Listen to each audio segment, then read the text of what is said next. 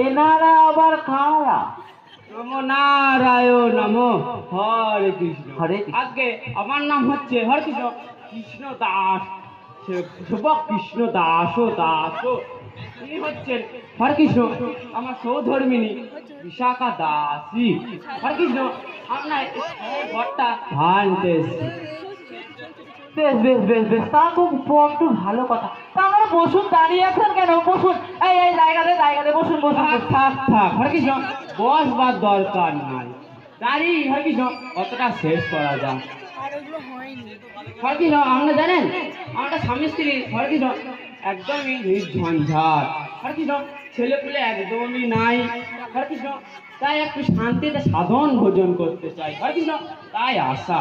সে তো খুবই ভালো কথা। আমরা জানেন তো, একটা নির্ঝঞ্ঝাট একটা ভাড়াতে চাই। কিন্তু ভাড়া কিন্তু জানেন তো চল্লিশটি টাকা। তা হোক তা হোক। হরে কৃষ্ণ শ্রীকৃষ্ণের ইচ্ছায় ব্যবসা বাণিজ্য আছে।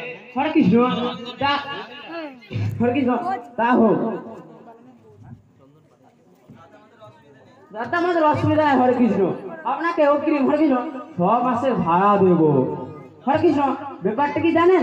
আমরা একটু শান্তিতে থাকতে চাই আর কিছুই না হরে তাতে কোনো অসুবিধা হবে না কৃষ্ণ দাস ও দাস আমরাও একটা নির্ঝঞ্ঝাট ভাড়াতে চাই। এই গাবলু কি বলিস? এদেরকে তাহলে ঘরটা ভাড়া দেওয়া যাক। তোমার ঘর তুমি যা মন করো আমি আর কি বলব? হ্যাঁ দাদা তাহলে আপনাদের দিচ্ছি। হ্যাঁ আপনারা সব কিছু ঠিকঠাক করে দেখে নিন হ্যাঁ। ওই ওই দিকে কল ঘর হ্যাঁ। আর এইদিকে আছে রান্না আর এইখানে আপনি বারান্দাও পেয়ে যাবেন খুব ভালো দেখবেন। বাহ বাহ। হ্যাঁ শ্রীকৃষ্ণের ইচ্ছা সব ভালোই তো দেখছি। এতেই আমাদের খুলে যাবে কি বলো? তুমি যে হার কি পুন তোমার এর চাইতে কি আর বড় বাড়ি জুটবে? ঝাঁটা মারি আমার কপালে গো। আমার বাপটা যে কি রেখে বিয়ে দিয়েছিল? এর চাইতে আর বড় বাড়ি নেবে? ওই বাড়িটা দেখছ না? ওই বাড়িটা হচ্ছে ওরকম বাড়ি না, হবে না? বোঝে না হরে কৃষ্ণ, অল্পের মধ্যেই শান্তি চাই। তাহলে এই জানলার পাশেই খাটটা রাখা যাক নাকি হরে কৃষ্ণ? আরে কি আমার সামনে ভূত রে?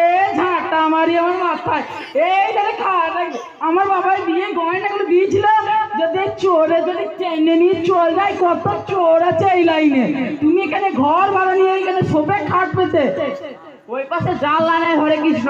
ওইদিকে গরমে প্রাণ যাবে। আমার কি ঘরের মাঠে স্বামী রে? খাট ওই পাশে থাকবে বেশি কিছু করলে তোমার একদিন কি আমার একদিন না হরে কৃষ্ণ খাট এইদিকেই থাকবে। খোনাখুনি হয়ে যাবে বলছি ঝাঁটা মারি কিন্তু হয়ে যাবে। আমরা আপনারা আগে সব কিছু ঠিকঠাক হোক ঘরে সব কিছু নিয়ে আসুন। তারপর না হয় আপনারা কোথায় খাট রাখবেন সেটা ডিসকাস করে নেবেন। হ্যাঁ বাবু আপনি কে?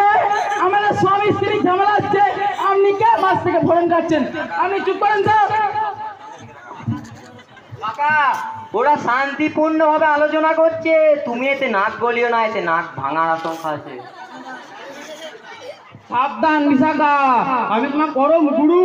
মুখে মুখে তর্ক করো না। লোকের বাড়ি এই চিজ বলে যা খুশি তাই। তুই কি ভাবছিস? তোকে আমি ছেড়ে দেবো? ঝাঁটাটা করে ঝাঁটাটা করে ওই তো কলতলায় ঝাঁটা। টাকা পালিয়ে চলো পালিয়ে চলো। এই তো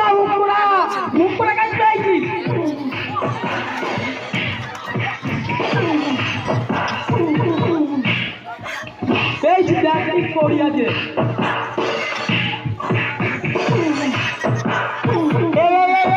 কাকে মারছেন এই এটা বাড়িওয়ালা, এটা আমার কাকা।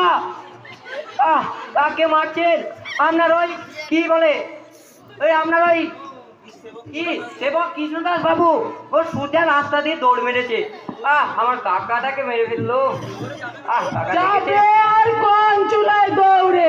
শেষ কালে আমার কাছেই পড়তে হবে দু মোটা ভাটার জন্য। ওই না মনে গাছ দেখছি। ওর একদিন কি আমার একদিন? ওকে আজ মেরেই ফেলব। ওই ঘর নেবে নাহলে আমি ভাত খাব। নাহলে আমি ভাত খাব না। এই বলে যাচ্ছি। বড্ড লেগেছে কাকা? বড্ড লেগেছে? তোকে আর কাটা খাবে ছিটে দিতে হবে না সব দিলে ও বাবা শেষ হয়ে নেই বলে যে ঝাঁটা থাকবে না এটা কোনো শাস্ত্রে আছে? সংসার বটে ওদের গালু আমার ভালো শিক্ষা হয়েছে আমি আসছি রে জল। হ্যাঁ কাকা তুমি জল টল খেয়ে আসো। হ্যাঁ, জল আমি আমি এইখানটা সামলে নিচ্ছি।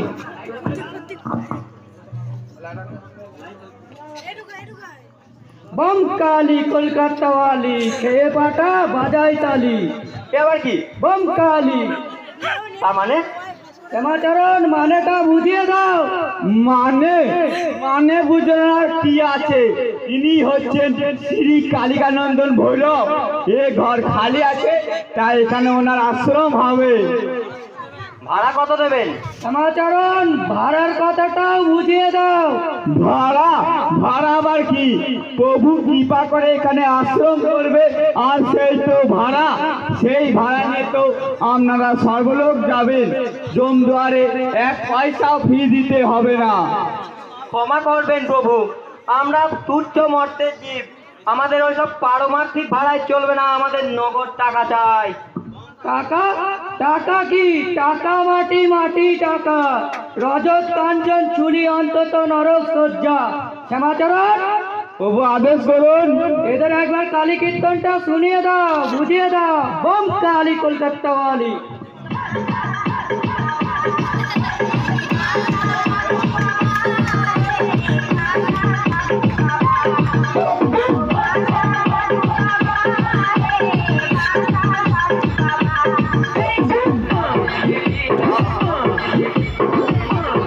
Shut up.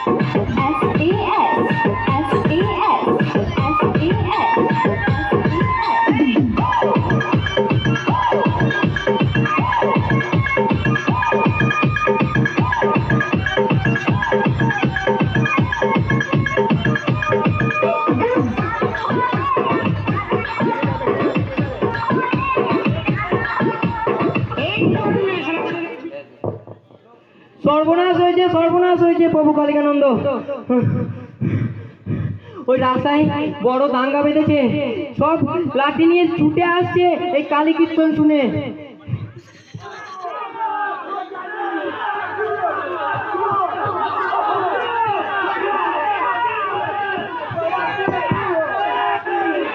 দাঙ্গা, মারামারি, কি বিপদ? এমনটা তো কথা ছিল না। এমতো অবস্থায় কর্তব্যটা কি সমাচারণ? কেটে পড়ুন প্রভু কেটে পড়ুন। তাহলে কি হবে প্রভু? ত্যাগ করো হয়ে নিজে মাইনে পাবেন না ওম কালী কলকাতা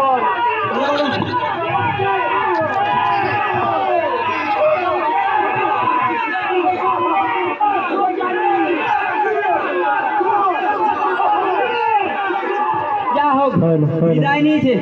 যা কালী কীর্তন শুরু করেছিল এখনই আমার প্রাণ যায় যায়। টাকার জন্য আমার সহানুভূতি করতে হচ্ছে।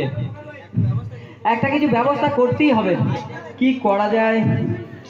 কিছু তো বুঝতে পারছি না। আইডিয়া দেখি।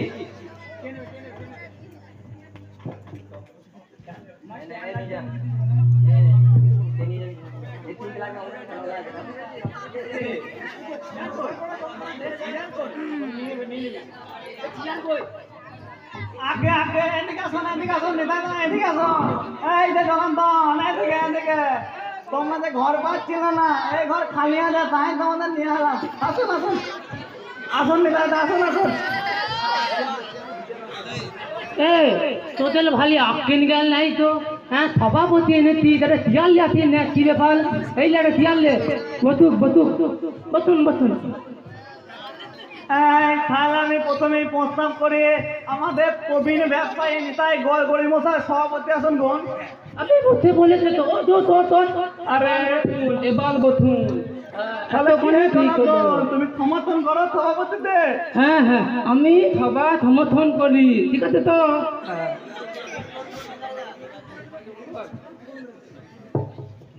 আরে সভা করেছ মালা টালা কোথায়?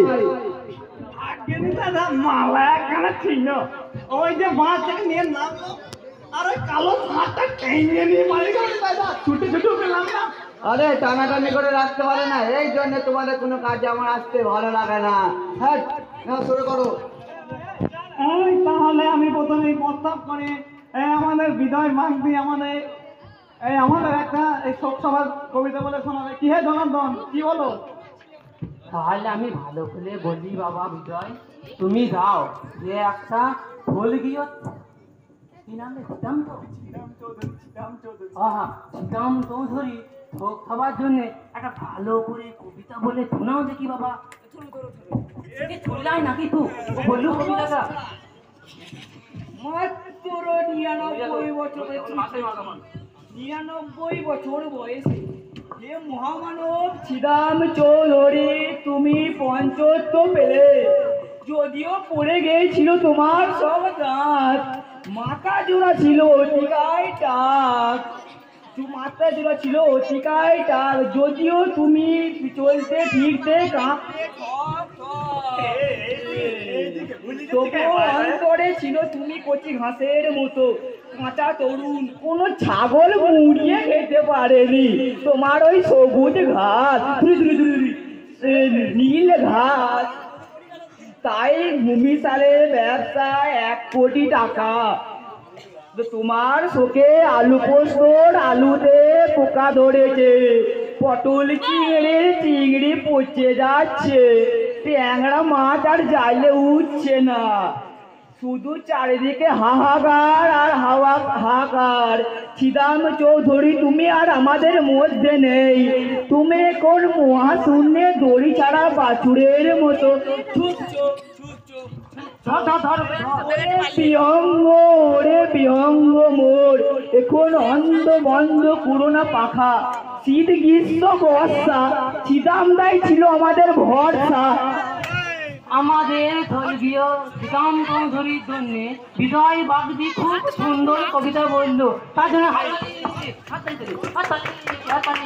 অনেক হয়েছে অনেক হয়েছে অনেক হয়েছে। এবার আমাদের স্বর্গীয় শ্রীরাম চৌধুরী মানে আমাদের স্বর্গীয় শ্রীরাম দার জন্য একটা থোক তরি করে শোনাবেন আমাদের কি নাম রাম পারবি না বলতে আমি পাইবো না তোমাদের বিজয় পাখি বলল। তোকে বল না মুখস্থ করতে পারবি আমি অত টাকা না আমার তো মুখে করে কি হবে? এ বিজয় বলে তো শোক সভা করবে টাকা বেলা কম দেবে তাহলে কি হবে? সভাপতি সমবেত ভদ্র মহাপা ওই মহিলা বিন্দু। তুই তুই মহিলা বিন্দু এখানে কেউ নেই মানে আজকের এই সভা কি যে বলব বলতে পারছি না। বলতে বলতে চোখে বাস বাষ্পবীর হচ্ছে। কণ্ঠ রুদ্ধ হচ্ছে হাহাকার করছে মাত্র নিরানব্বই বছর বয়সে। শ্রীরাম চৌধুরী আমাদের ছেড়ে চলে গেলেন। বলা হয়ে গেল বাবা। না না না না তা বল অমনি করতে শ্রীরাম চৌধুরী অন্তঃস্থানে চলে গেলেন। রেখে গেলেন অতুল কীর্তি আর ভূষিমালের কারবার।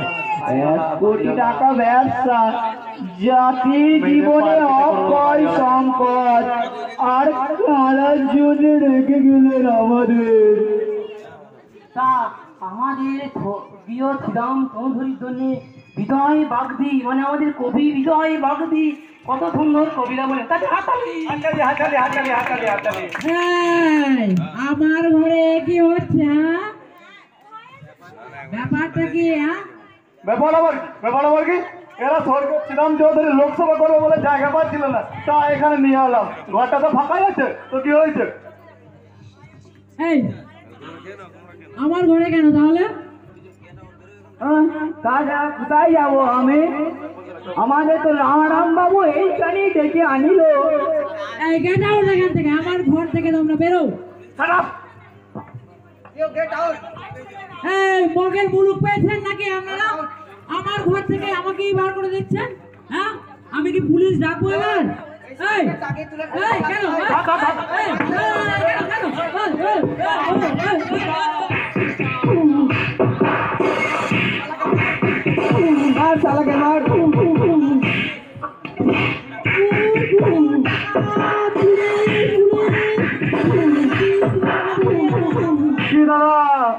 কি বুঝছেন তখন ভালোই ভালোই বললাম ঘরটা আমাদের কিনে দিয়ে দেন। তখন তো দিলেন না আবার বুঝুন আবার ওই আমরা শুরু করো শুরু করো।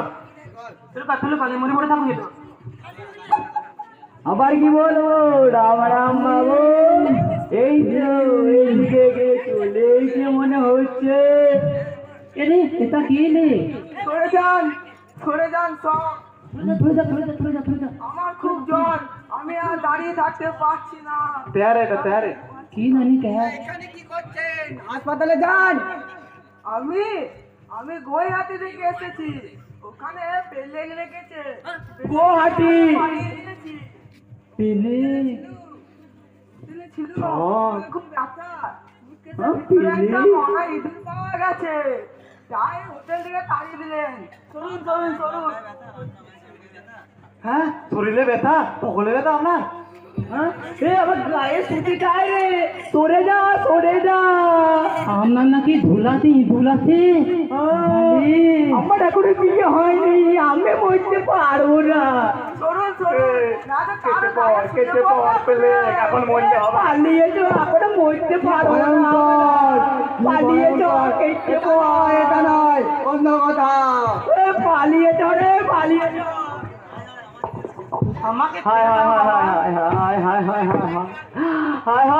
আমার কি হলো আমার শেষে পেলে ঢুকলো আমার ঘরে হায় হায় হায় হায় হায় হায় হায় হায়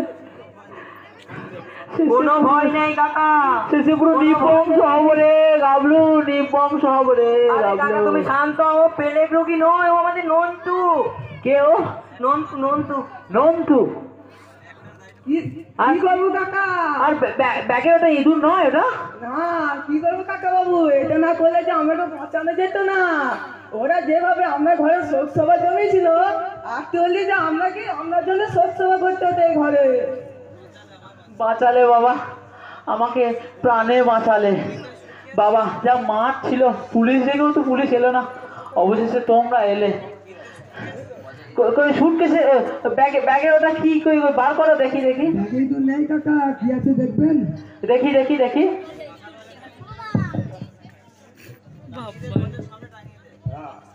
তাহলে এটা কাকা খাসা হয়েছে।